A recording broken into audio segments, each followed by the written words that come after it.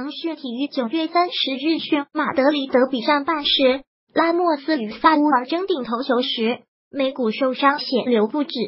不过经过治疗后，皇马队长依然能坚持作战。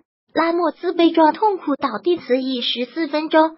拉莫斯前插至马丁禁区争顶头球，与国家队队友萨乌尔头部相撞，争顶失水也正好顶中萨乌尔的后脑勺。拉莫斯向前发力，马竞中场则正好头部向后仰，结果拉莫斯前额肌结实实撞中对方头部，立刻翻倒在地，表情痛苦。猛烈撞击令拉莫斯眉骨开裂，血流不止。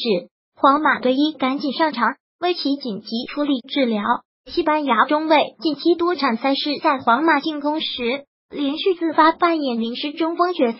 洛佩特吉否认是战术安排，也符合带刀后卫身份。只是这次前插助攻得不偿失，好在其伤口并不太大，经过治疗后水淹，依然能坚持比赛。今夏欧洲超级杯，拉莫斯盯防迭戈科斯塔很失败。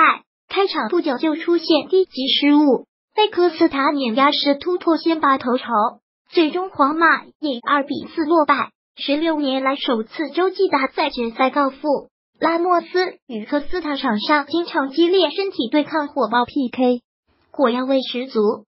个人恩怨成分倒不多。拉莫斯倒地流血时，科斯塔还关切地上，前查看对手情况如何。受伤对拉莫斯还是会造成一定影响。几分钟后，皇马队长中线附近造越位失误，被格列兹来成功反越位制造必进球良机，幸而法国人射门准心稍差，击中库尔图瓦头部弹回，才避免皇马主场丢分。战至半小时，拉莫斯伤口绷带部分脱落，主裁又要求他到场边固定后再恢复比赛。哭球。